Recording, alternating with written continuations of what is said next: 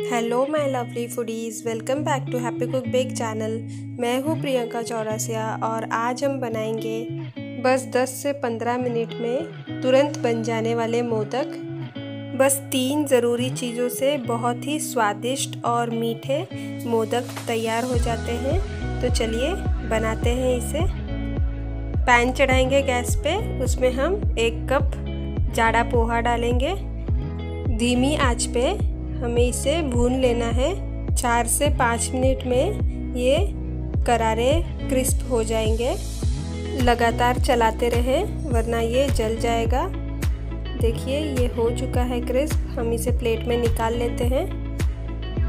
उसी पैन में एक कटोरी से थोड़ा कम सूखा नारियल, जिसे हमने कद्दूकस कर लिया है, उसे डाल देंगे और उसे भून लेंगे धीमी आँच पे।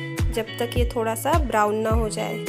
देखिए, ये हो चुका है। इसे दो से तीन मिनट लगेंगे इस तरह ब्राउन होने में। बस इसे भी उसी प्लेट में निकाल लेते हैं। दोनों को बिल्कुल ठंडा कर लेंगे। ठंडा होने के बाद इसे हम मिक्सर के जार में डालेंगे। पोहा और सूखा नारियल ठंडा होने के बाद ही हम इसे पीसेंगे। इसमें तीन चौथाई कप गुड़ डाल देंगे और एक चौथाई चम्मच सौंठ का पाउडर डाल देंगे ड्राई जिंजर पाउडर और इसे हम महीन पीस लेंगे। देखिए, ये कुछ इस तरह लगता है। इसे हम एक बाउल में निकाल लेते हैं। आप देख सकते हैं इसका टेक्सचर कैसा है। मिक्स कर लेते हैं सभी को अच्छी तरह, और इसमें एक बड़ा चम्मच घी डालेंगे।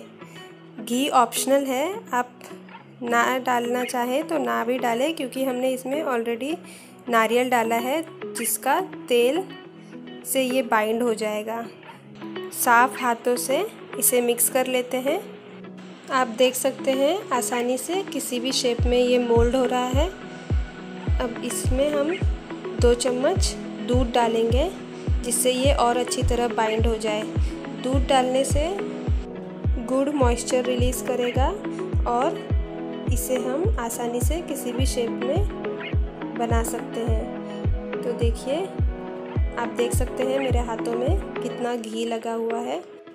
मोदक के साँचे में हम थोड़ा सा मिश्रण भर देंगे और इसे मोदक का शेप दे देंगे। सभी तरफ़ से इसे प्रेस करके भर दे ताकि मोदक का शेप अच्छा आए और जो एक्स्ट्रा पार्ट है उसे निकाल दे। देखिए, हमारा मोदक तैयार है बिल्कुल। बहुत ही टेस्टी लगेगा ये खाने में। इसमें जो सौंठ डाला है, उसका टेस्ट बहुत अच्छा आता है।